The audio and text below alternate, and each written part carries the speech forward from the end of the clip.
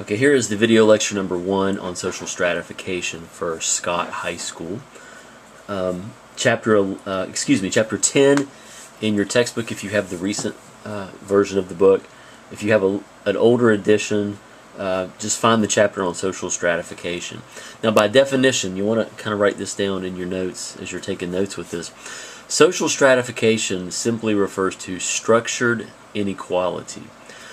I'm going to start making the case to you that the inequalities that we witness in this country uh, in terms of um, income, wealth, status, uh, whatever the case may be, is very structured. There's a, there's a systematic process in place that determines who gets what and how much of what. So again, social stratification, by definition, is structured inequality. Now, we can look at uh, social stratification um, in terms of income and wealth here initially, and that's what we'll do. Income refers to earnings from work investments. Uh, if you go to jobs, some of you have part-time jobs, I don't know, maybe even a full-time job. Uh, any money that you make, your paycheck that you bring home, that you put in the bank, is income. Uh, to give you an idea, the U.S. median family income in 2008 was $61,521. So that's, you know, both people, husband and wife, boyfriend, girlfriend, whoever, working together. Um, wealth, on the other hand, is the total value of money and other assets minus outstanding debts. I'm going to give you some examples of income and, and some examples of wealth in the next few slides. In the United States, 1% of the population possesses 35% of the nation's private resources. Now think about that for a minute. 1% of the U.S. population that's a very tiny portion of our, of our country's population, controls 35% of the nation's private resources. So the very few at the very top of the class structure own, control, possess most of the wealth in this country. And some people say that's a real problem. Uh, other people say, well, no, that's how America is, you know.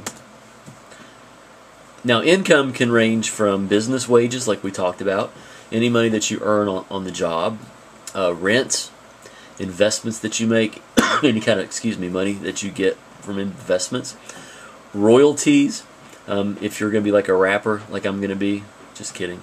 You know, if you're going to be like a, you know, like musicians, athletes, any kind of, you know, any kind of advertisements that they do, uh, music that, that musicians produce, um, if it's played on a commercial, uh, they get a royalty. They get money from that every time that it's aired.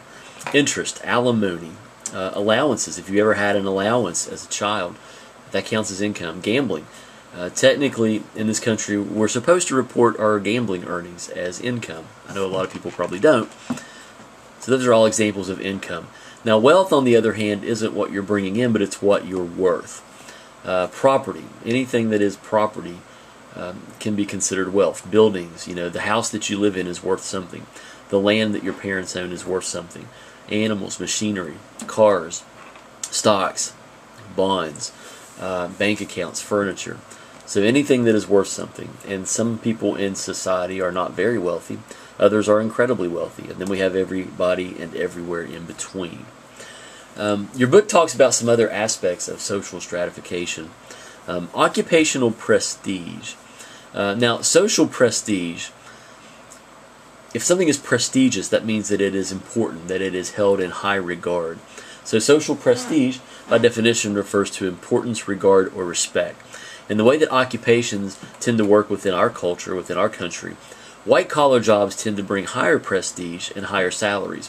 For example, you know, doctors, lawyers, managers, uh, essentially people who wear white dress shirts, if you will, that thus white collar, tend to be given more status and more prestige they tend to command higher incomes.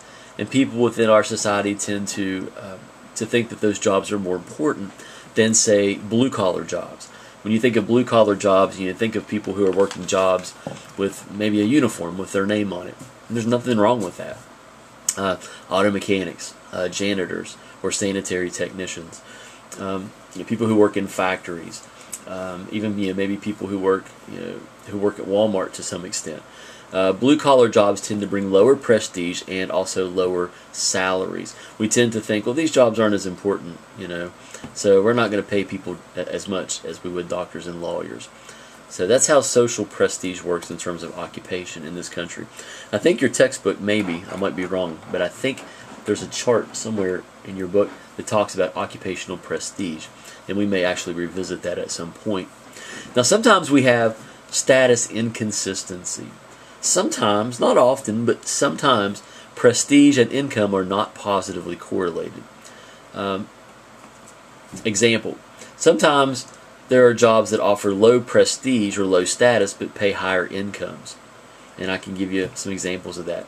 Uh, plumbers, for example, uh, strippers, servers, in other words, waiters or waitresses. A lot of times, as a society, we tend to kind of look down on these professions and think, eh, well, you know, who wants to be a plumber? Who wants to do that? You know, or as parents, you know, we think, you know, we want our daughters to be to be strippers. Um, probably not. I'm, I'm guessing uh, servers, waiters, waitresses. We tend to think that these are sort of you know menial jobs, and you know they're just they're just not that prestigious. Now, conversely, sometimes there are some occupations that offer high status or high prestige, but bring lower incomes, uh, such as ministers, teachers, sociologists, for example. And I always tell a story. You know, when there was career day at the high school, there weren't a lot of people lining up to be a plumber or wanting to be a plumber. Um, this is my token picture of a, of a plumber. Very low uh, prestige offered plumbers. Uh, one day I had a problem at my home, and I'm not smart enough to fix my own plumbing. So this guy called him. He came out. He represented a company, and he was there a couple hours. He fixed my problem. Uh, he did a lot of dirty work, and he fixed my problem, and I was very grateful. And then I was writing a check for like three or four hundred dollars. I'm thinking, golly. So I asked him. I said, you know, no, no offense. You know, I just, I'm just curious. How much do you make in a year? And he kind of looked at me and smiled. He said, well, you, you may not believe it. And I'm sitting here with my, you know, with my four degrees and you know, being a psychologist and, and a sociologist and a teacher. And he says, I, you know, on a good year, if things go well, I can make about two hundred, two hundred fifty thousand dollars a year. I'm like, well, okay, um, that's a lot of money. That's a classic example there of someone or an occupation with low status, or low prestige but high income. He was doing very well, making more than some doctors and some lawyers. Another story that I like to tell is a true story. Um, one of the first years that I ever taught in higher education, um, I had a student, and she was in my introduction to sociology class, and she was coming to campus at State, West Virginia State, and I, I knew that she was a little younger, and she was just starting off in school, but she was driving a Lexus, she had the nicest clothes of anyone that I that I ever that I ever knew in my life. I just I I couldn't believe it, and I didn't want to get real personal. And you know, one day I just I just asked her after class. I said, "You know, you have a really nice car and you some nice clothing." I said, and she was a social work major, and social workers, unfortunately, you know, if you aspire to that, you're not going to make a lot of money. And she disclosed. I had no idea that she was a stripper. Had no clue and she disclosed to the class that, that she was a stripper. She was very open about it. She didn't care to talk about it. And of course, I felt a little awkward after I'd asked the question, sort of informally after class. And everybody kind of you know perked up when she said stripper. And I'm like, oh, okay. So she talked about it, and um, and I asked her. I said, well, you know, since, since you brought it up, so again, the sociologist in me is curious. How much do you make, say, in a week or a month? You know, just morbid to curiosity. And she said, well, you know, I, I, work, you know, Friday night, Saturday night, and maybe like a Sunday. She called it a matinee. so I, I guess she, I don't know, maybe she worked Sunday night, I don't know, or during the day. And she said she would travel to different locations, not just in West Virginia, but would, would go different places and perform, let's call it. And she said that, you know, when you tallied it all up, she was making, you know, and this was as a college freshman, okay, with no education was working about 20 hours a week, maybe 20 hours a week, and she was making almost $100,000 a year. So again, low status. We don't typically think of strippers as being, you know, high status occupations, but making a lot of money. Uh, servers. I still wait tables. Um, I make a lot of money doing that, even though I have, you know, I have four degrees. And I'll go back to the restaurant called Deals in Nitro. If you're ever in Nitro, I, I might be working there some. Um, people will say to me, Brandon, why are you work? Why are you waiting tables again? Why are you back here working on a Friday night when you have four degrees and you're teaching? Well, a I like it. It's, it's fun for me. But b I make more money on the hour waiting tables than I do sometimes with my with my degrees that I with my jobs. Uh, that I have with my degrees.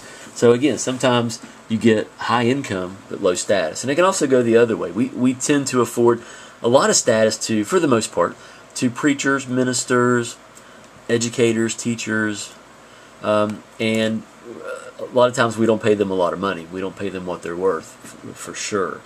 Um, so it can kind of work that way as well. So those are some examples of status inconsistency. I'm going to call that the end of this first part. Thanks.